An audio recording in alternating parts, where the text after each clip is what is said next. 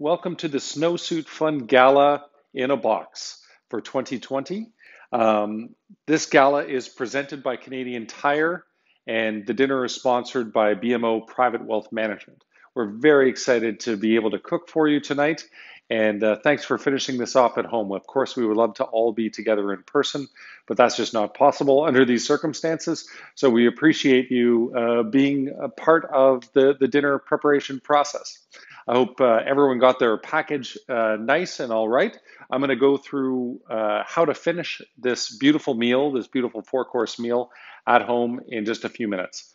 Um, the, uh, the gala committee has done such a great job with Knock on Woods Communications and uh, Karen and Stephanie. They've been a joy to work with, and we have such a great meal for you tonight. Um, so I've jumped ahead because I want to keep this video nice and tight. My name is Steve Beckta, by the way, and uh, we have the Curator by Beckta uh, honor of participating with you tonight. So I've gone ahead and put uh, the beef short rib in the oven. It comes in a container just like this. I'm going to give you a couple quick tips the first thing is make sure to open up the container and cut the plastic bag around the beef and remove it and then just put it on top of the potatoes and the mushrooms because you don't want to bake it in the bag. Um, and the next thing is when you put the top back on, because you want the top so all the moisture doesn't go away, just all you have to do is put the top on gently. You don't need to seal it all up again because it's going to be super easy to be able to take off a little bit later. So the beef's been in the oven for, for a couple minutes now. The pasta is going to go in in just a second. Um, but I want to get to the charcuterie. So there is a really cool demi baguette from Nat's Bread. Um, Nat used to be a sous chef of ours at Beckta, and uh, she is just such a great baker. So the key on this is that you want to steam it a little bit so that it's nice and fresh. So take a few ice cubes, throw it on the bottom of your oven, it's going to steam a little bit when when it's at that temperature and just put the baguette there and the ice cubes will melt and they'll just steam the bread and this is a great way for you when you're at home and you have baguette left over from the previous day and you want to freshen it up but just throw some ice cubes in the in the bottom of the oven warm it up for five minutes slice it up beautiful with cheese and charcuterie so let's go ahead and unwrap these so we've got two lovely cheeses for you tonight. Um, so the first is a Tome de Haute Richelieu, which is a, a firm goat's cheese. It's the one with the yellowish rind. Don't eat the rind. It's not so tasty. But a really nice, fresh, uh, firm goat's cheese. And then the next one is one of my favorites, uh, double cream cow's milk cheese. Um, and this is the Brie de Meaux uh, from France. And it's just sort of a classic earthy, mushroomy uh, brie. Um, and it's served with uh, a raspberry uh, chutney. So that's the red one. And then our charcuterie is served with uh, the grainy mustard with uh, fresh local honey and then some homemade pickles. And we've got it going on on a little charcuterie board tonight, and we can plate this up while the bread is in the oven. So we have some uh, pepper salami from Creel and Gambro, one of our favorite producers uh, local producer of charcuterie. And then we've got some gorgeous Italian prosciutto here to round things out. But literally just take it out and place it right down there. Let's get rid of those guys. So here is kind of what your cheese and charcuterie board should look like before uh, the baguette goes on. And that will get you started. And next, while the bread is uh, getting finished in the oven, I'm going to talk about our salad course. Now, there's a little bit of discrepancy between what is written and what your salad course is.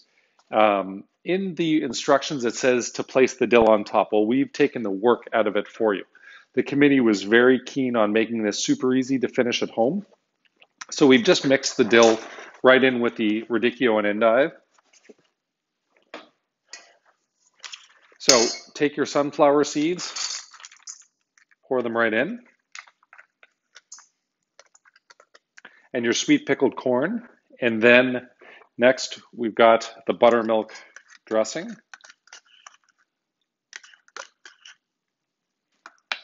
And just give that a nice stir. Now, don't forget, we're gonna do a little bit of salt and pepper if you want. Now, it's got some seasoning already, but people like me like a little bit of extra salt and pepper because it brings out the flavor, but each to your, your own taste. Now, don't forget the, the uh, pecorino is going on top as well, so that's a little bit salty. So just be careful not to over salt things because the pecorino is going to provide that. And just that plate that nicely on the plate. By the time I do this, the baguette should be all nice and refreshed. There's nothing like warm bread coming out of the oven.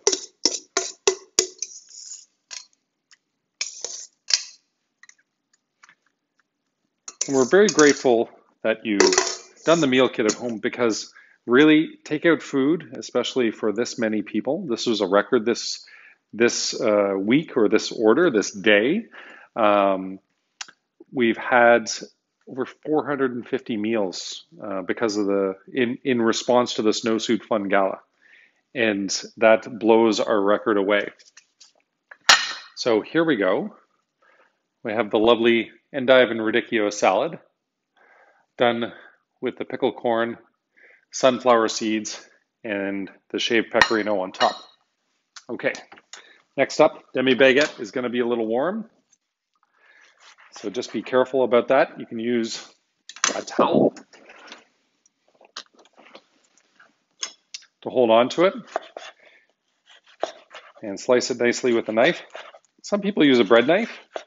I prefer using a chef's knife. It seems to, to work better for me, but whatever you have at home will work just fine.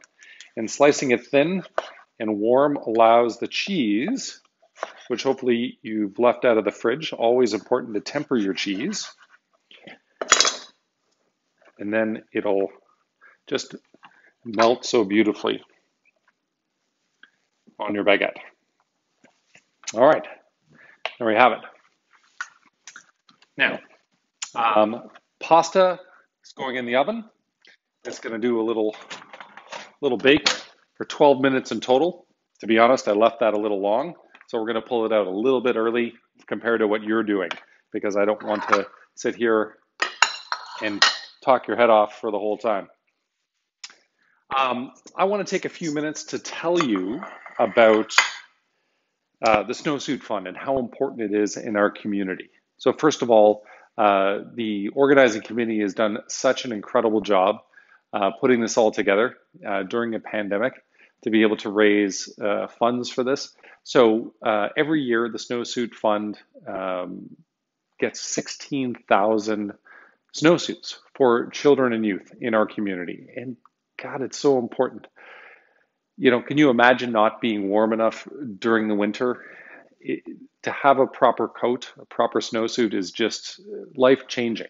And so I'm very grateful um, that this uh, foundation exists in our community. And I just want to say thanks to all of the organizing members who have put so much time and effort into putting this gala together and for all the work you do in our community. Okay. With that said, I'm going to jump ahead for a minute and talk about the dessert. Because who doesn't love dessert? So while the short rib and the pasta is baking, we're going to show you how to plate this guy up. So it's pretty simple. Got a delicious chocolate tart. Put it in a plate or on a bowl. And we've got some gorgeous whipped cream here that we whipped today. And we need a little bit of garnish to make it super pretty. And so we've got a ground cherry. And you should have had the leaves sort of pulled back. Let's put it right on there. And now you've got fine dining dark chocolate dulce de leche tart with whipped cream and ground cherry. I'm going to be enjoying that in a few minutes. Okay, so while the pasta is baking away, I think um, we are ready for the short rib. But before we do that, we have one last little thing to do. You've got a little container of microgreens. Um, mostly in your case, I believe it is going to be pea shoots. Tonight I've got some mâche, fresh, little salt and pepper, a little olive oil, some tongs. Let's give it a little stir. You just want some freshness because as um, someone who I don't know their name, but they really seem to nail it, the, the camera always eats first and your eyes always eat first. So you want to make something look bright and green and just pop off the plate. And our plate's going on here. Make sure to use oven mitts, or in my case, a towel. I prefer a kitchen towel to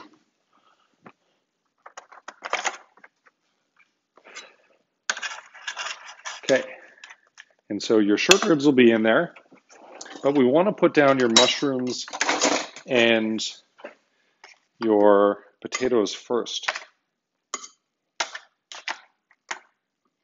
Now, the, the beef came with this beautiful demi-glace on it. So very important to uh, squeeze all the juices out of the pan if you're watching this in advance.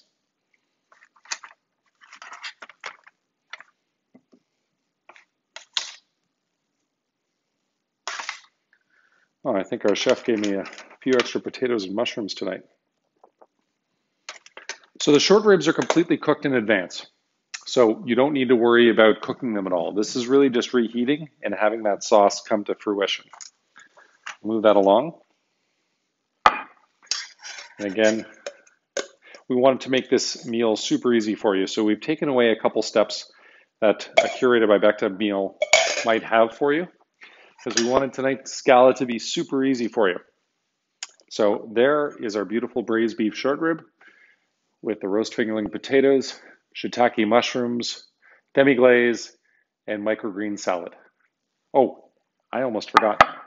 Don't forget, season your meat. Salt and pepper. Because if something's not seasoned properly, it's not going to taste like it's supposed to taste. So, salt and pepper before you put the microgreen salad on. I made a mistake there. All right, and then our pasta is next. It's pretty simple, really. You're just taking it out of the oven and putting it on the plate. Don't burn your hands. So we've got um, ricotta and leek ravioli with squash, Swiss chard, and roasted walnuts, and everything is in here and it's all cooked to different amounts so that when it comes out, it can be gorgeous right on the plate. Take a big spatula if you have one, and you want to try to scoop in right underneath the squash so that it gets it all on the bottom. I've got a little extra squash here that I'm going to put on top. But really, other than seasoning a little bit with salt and pepper at the end, I'll tell you what, I've got a little pecorino left over, so I'm going to sprinkle that on top. Because don't let the good cheese go to waste. And if you do too, go for it. So here is our beautiful ricotta and leek ravioli, done with the Swiss chard, roasted almonds, roasted walnuts, excuse me, and uh, butternut squash puree and diced butternut squash. Um, so that's it. I hope you enjoy your meal. Thanks for being part of this. Thanks for the incredible support of the Snowsuit Fund, uh, presented by Canadian Tire, supported by BMO Private Wealth Management. And uh, just, I hope you enjoy your dinner. I hope you enjoy your night. Enjoy your gala in the box. And uh, great being part of this with you.